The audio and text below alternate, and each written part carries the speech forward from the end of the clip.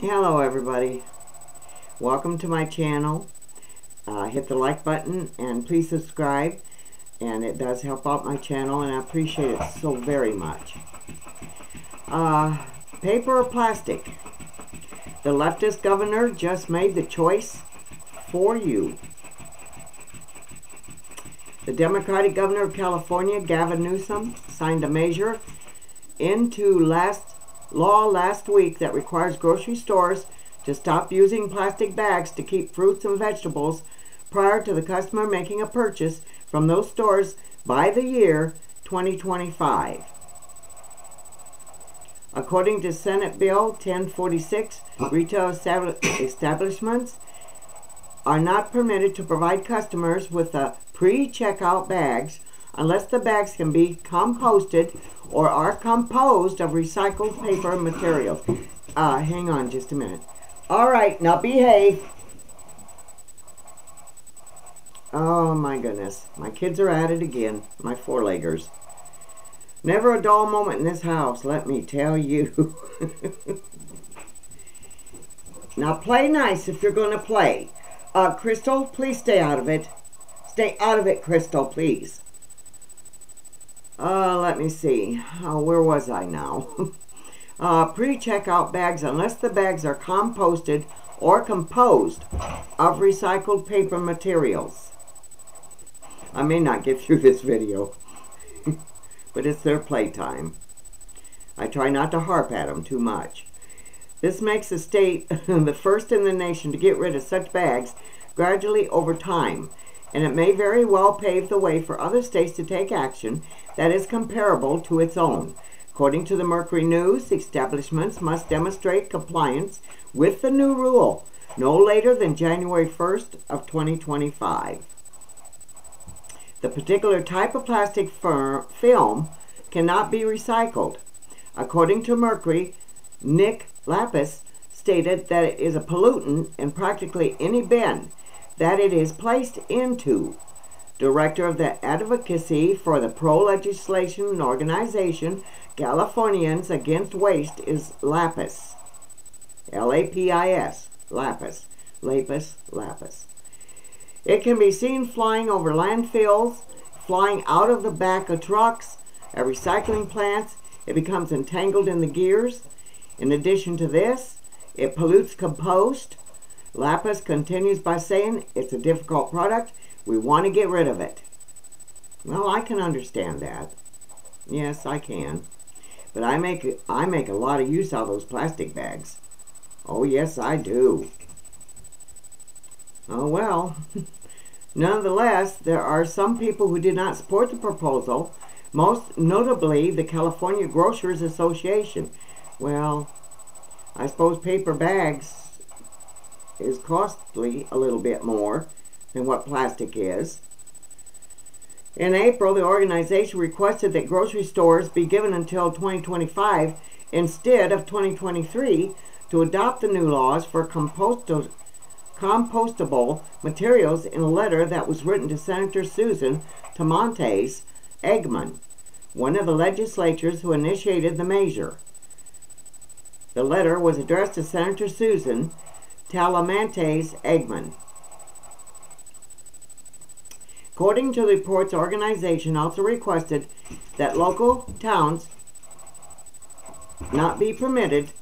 You're going to hear the kitties playing with their uh, toy. You can hear it running and they chase that little feather thing around and around and around. Sometimes I wish I wouldn't have bought that. Oh well. According to reports, the organization also requested that local towns not be permitted to enact identical laws or apply fines or firms who included who include one-time use produce bags in their operations. Eggman did not give in to one of those demands at any point. According to Leticia Garcia, Director of State Government Affairs for the California Grocers Association, they serve a key role in protecting people from potential contamination and food illnesses caused by raw packaged meats coming into contact with other items. When fragile items such as wine bottles are placed in shopping bags together with other items, these bags offer an additional layer of protection. Shopping bags in California are subject to a tax as well. Since 2016, when voters in California approved propositioning uh, Proposition 67, the consumers have been required to pay a minimum of 10 cents for a recycled bag or a reusable bag that is supplied to customers when they paid for their purchases at a store. Uh huh. I remember that. Oh, yes. Well, they got to make their money back, I guess, somehow. What did I just see here? Somebody said, hello, Betty. I must be dreaming. I could have swore I saw something there. Oh, well. Yeah.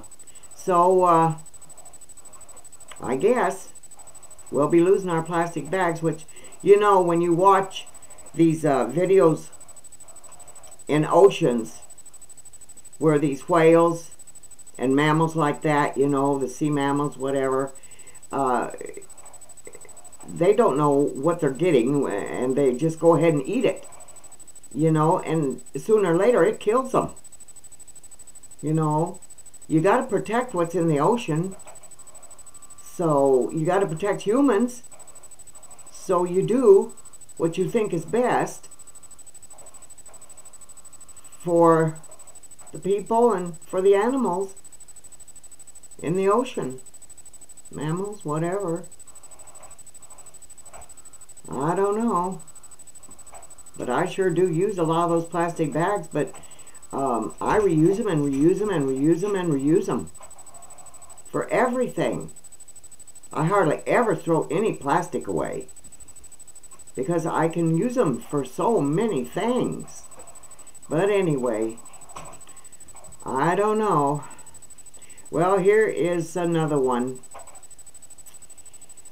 Believe it or not, here it is. Biden implicates Hunter in crime worthy of 10 years. And that's 10 years in prison. President Joe Biden appeared to confirm to a CNN anchor Tuesday that his son was guilty of a crime for which the penalty is up to 10 years in prison.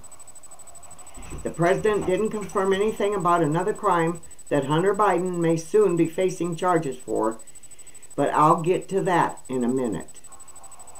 Jack Tapper, Jake Tapper, sorry, who according to Deadline began a month-long gig anchoring CNN Tonight this week until the midterms, obviously wanted to launch his tour of duty with a bang, and he did so by airing the interview with the sitting U.S. president. The interview was, for the most part, pretty much what you'd expect it to be Putin is as bad as he seems, the economy isn't, and the Democrats' chances in November are just rosy. But Tapper also asked a more personal question about the troubled life of President's son, Hunter Biden. As the president's response was surprisingly forthright. Our reporting, CNN's reporting, the Washington Post reporting suggests that prosecutors think they could, and they have enough, to charge your son, Hunter, for tax crimes and a false statement about a gun purchase. Personally and politically, how do you react to that? Tapper asked. Well, first of all, I'm proud of my son. This is a kid who got blank, not a kid. He's a grown man. This kid who got blank, not a kid. He is, he's a grown man. I guess you can put your own word in there. Don't ask me. And he got hooked on, like many families have had happen, hooked on drugs. Mm. He overcome that. He established his new life. He is, I'm confident that he is, what he says and does are consistent with what happens. And for example, he wrote a book about his problems and was straightforward about it. I'm proud of him. He came along and said, by the way, this thing about a gun, I don't know anything about it, but it turns out that when he made the application to purchase a gun, what happened was he said, I guess you get asked, I don't guess. You get asked the question, Are you on drugs? You use drugs.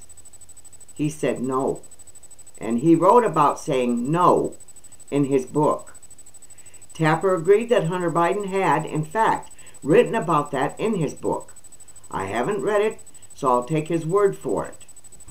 So I have great confidence in my son. I love him.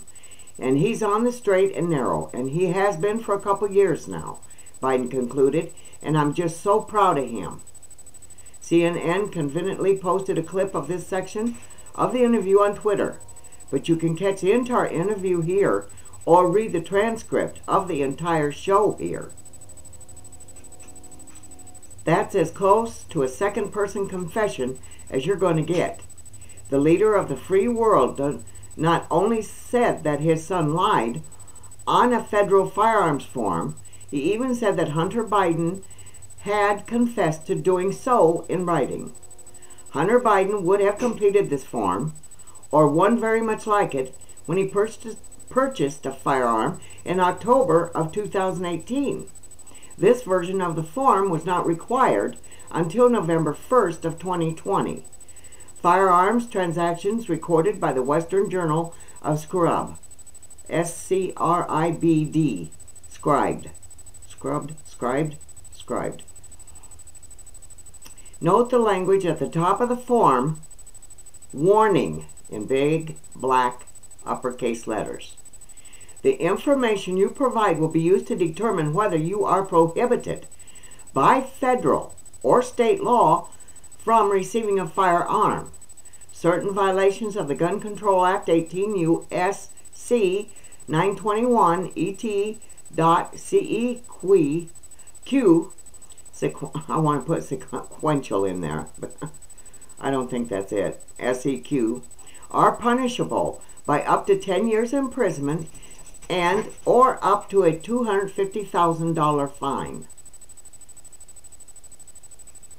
The form also asks this question. Are you an unlawful user of or addicted to marijuana or any depressant? I thought marijuana wasn't addicted. Mm-hmm. Yeah. Or any depressant, stimulant, narcotic drug, or any other controlled substance. Warning again in big uppercase letters. The use or possession of marijuana remains unlawful under federal law regardless of whether it has been legalized or decriminalized for med- medicinal, medicinal, or recreational purposes in the state where you reside. According to recent reports, prosecutors believe they have sufficient evidence against Hunter Biden to charge him in connection with his responses to this form, which brings us to the possible penalties for lying on it. Federal law makes it unlawful for anyone connected with a firearm or ammunition purchase to knowingly to make any false or fictitious oral, oral or written statement or to furnish or exhibit any false, fictitious, or misrepresentative misrepresented identification intended or likely to deceive such importer, manufacturer, dealer, or collector with any respect to any fact material, to the lawfulness of the sale or other disposition of such firearm or ammunition under the provisions of this chapter. But wait, there's more. That's just the gun charge. Hunter Biden is also reportedly facing possible charges of tax evasion related to failure to report income from overseas ventures. Excuse me. And you got to wonder what them ventures are overseas. I don't know. Federal law also looks unkindly at that. Any person who willfully attempts in any manner to evade or defeat any tax imposed by this title or the payment thereof shall, in addition to other penalties provided by law, be guilty of a felony, and upon conviction thereof shall be fined not more than a hundred thousand to five hundred thousand in case of a corporation, or imprisoned not more than five years, or both, together with the cost of prosecution, according to IRC S, and that's a double S, sorta, or maybe it's not a S, it's a squiggly thing, 7201. That fine for individuals, by the way, was raised to 250,000 in 1984. The law is clear. Federal prosecutors appear to believe that Hunter Biden's action in contradiction of those laws are also clear, though of course he is innocent unless and until proven guilty. But one question remains. Is there a Justice Department prosecutor independent enough of Joe Biden and the deep state to bring charges against the sitting president's son? I guess we're going to find out. Article, original article. Joe Biden suggests Hunter Biden committed crime that could land him 10 years in prison. WesternJournal.com. My, oh my, oh my. Well, as I say, we'll see. I'll be back. And you are special. See ya. I'll be right back looking for my button here. you are a blessing.